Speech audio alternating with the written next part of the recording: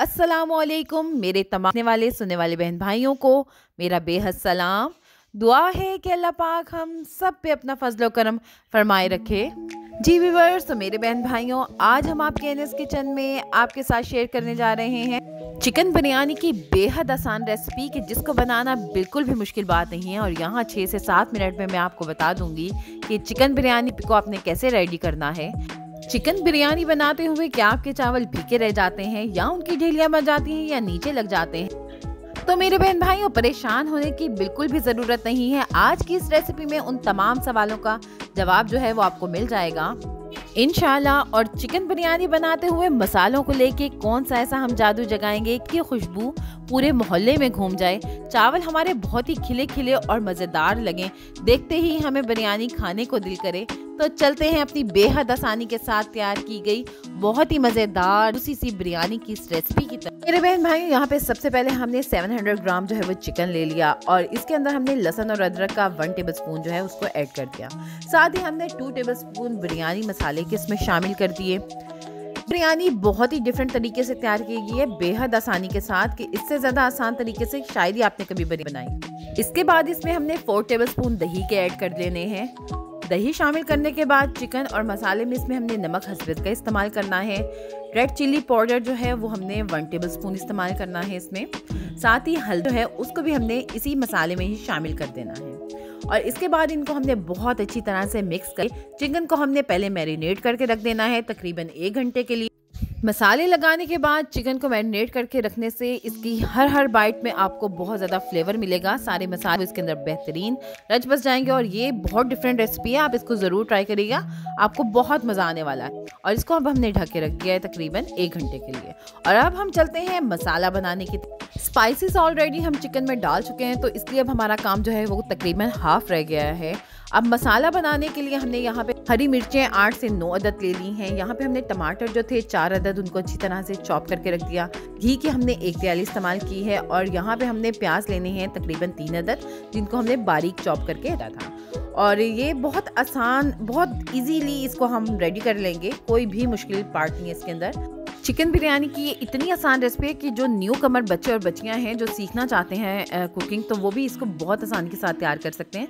Chicken को मसाला लगाए हुए एक घंटा जो है वो गुजर चुका है और स्पाइसेस इसके अंदर, माशाल्लाह, बहुत ज़बरदस्त रच बस के और अब यहाँ पे हमने एक कढ़ाई ले ली है जिसमें हमने एक कप जो है वो घी या ऑयल जो आप इस्तेमाल करना चाहें, वो आप कर सकते हैं। वो हमने इसमें शामिल कर दिया।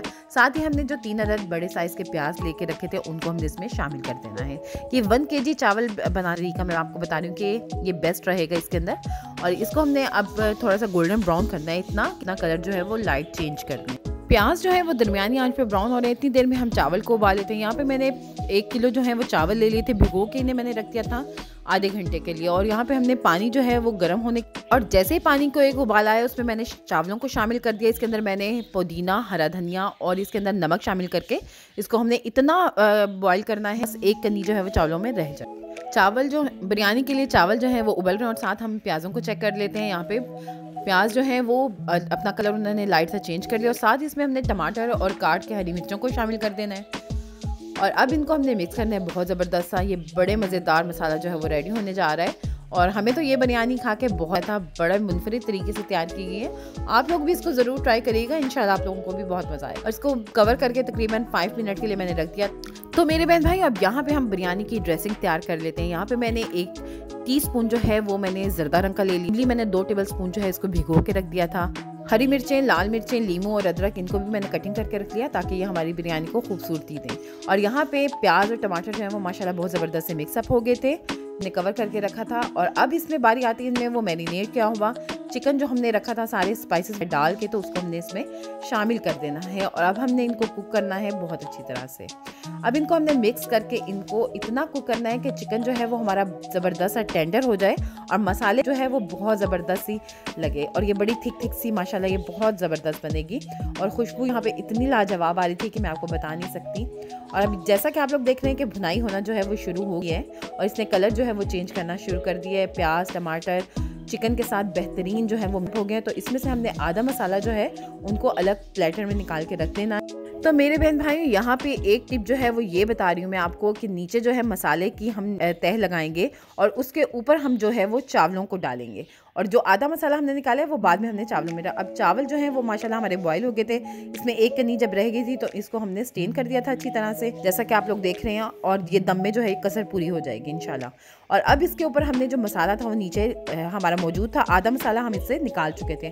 और अब इसके ऊपर चावलों की जो है, वो एक लेयर हम लगा देंगे। जैसा कि आप लोग देख रहे हैं कि थोड़े थोड़े करके बॉयल हुए हुए चावल मैं इसमें शामिल किए जा रही हूँ। और जो इमली का हमने गूदा निकाल के रखा था, उसको अब हमने इसकी तह में लगा देना है। ये इतनी जूसी माशाल्लाह हमारी जो है बिरयानी तैयार हुई थी।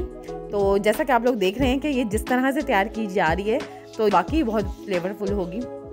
और हमें तो इसे खा के बहुत मज़ा आया था।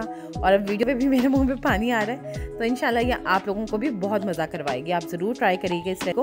और जो हाफ़ मसाला मैंने निकाल के रखा था, उसको मैंने अब चावलों के ऊपर उसकी एक और लेयर लगा दी। इसके बाद में सारे चावल जो थे, उनकी लेयर इसके ऊपर दोबारा अगेन लगा दी। और ये हमारी तह वाली माशाला बड़ी ज़बरदस्त बिरयानी जो है, वो रेडी होने जा रही है। और जिस तरह से आप देख रहे हैं कि एक स्पून की मदद से मैं इसको चावलों को सूँ और ये सेट कर दिया हमने इसके ऊपर। अब हमने लेमन जो हमने कटिंग करके रखे थे, हरी मिर्चें, लाल मिर्चें और अदरक जो है, उसको हमने इससे डेकोरेट कर दिया ताकि हमारी बिरयानी जो है वो भी खूबसूरत लगे। और माशाल्लाह ये सेट करते हुए हमें बहुत अच्छा लग रहा था, मज़ा आ रहा था। तो मेरे बहन भाइयों, देखा आपने ये बिरयानी की कितनी आसान सी रेसिपी है। और कितने झटपट हमने इसको तैयार कर दिया है कि मैं पता ही नहीं चला कि किस तरह से जल्दी से बिरयानी जो है वो रेडी हो गया है। और ज़रदा रंग जिसको हमने थोड़े से पानी में घोल के था पानी में, दूध में, जिस मर्ज़ी में आप घोल लें, कोई इससे फ़र्क नहीं पड़ता। और इसको मैंने थोड़ा थोड़ा जो है वो चावलों के ऊपर जो है वो डाल दिया है, जिससे हमारी बिरयानी की लुक मज़ीद खूबसूरत होगी, माशाल्लाह। और मैं हमेशा एक ही बात कहती हूँ कि खाना जो है वो पहले आप आँखों से खाते हैं और फिर आपके पेट में जाता है, फिर आप मुँह तक उसको लेके जाते हैं तो दिखने में जो खाना खूबसूरत होता है, खाने में भी वही मज़ेदार लगता है। तो इसके साथ ही हमने इसको ब्लिट लगा के दम लगा देना है और माशाल्लाह पंद्रह मिनट के बाद बिरयानी जो है वो बेहतरीन तैयार हो गई थी, ज़बरदस्त हमारे राइस जो थे वो टेंडर हो गए थे और ये बहुत टेस्टी, माशाल्लाह फ्लेवरफुल जो हमारी बिरयानी थी, वो जूसी सी बिल्कुल रेडी थी। इसके साथ ही यकीन करती हूँ कि बिरयानी की ये आसान सी, मज़ेदार सी रेसिपी आपको यकीन पसंद आई होगी। रेसिपी पसंद आई हो तो इसको कमेंट और शेयर ज़रूर करिएगा और मुझे ज़रूर बताइएगा कि ये आसान सी रेसिपी इस तरीके से बनाई गई जिसमें चिकन जो, को जो है वो हमने पहले से मैरिनेट करके रखा हुआ था, वो आपको कैसी लगी। रेसिपी पसंद आई हो तो लाइक कमेंट और शेयर ज़रूर करिएगा और मुझे ज़रूर बताइएगा कि ये आसान सी, मज़ेदार सी रेसिपी कैसी लगी। इसके साथ ही इजाज़त दें, अपनी बहन को दुआ में याद रखिएगा। इसके साथ ही अगर आपने अपनी बहन के चैनल को अभी तक सब्सक्राइब नहीं किया तो जल्दी से कर दें और बेल आइकन का बटन दबाना तो बिल्कुल मत भूलिएगा।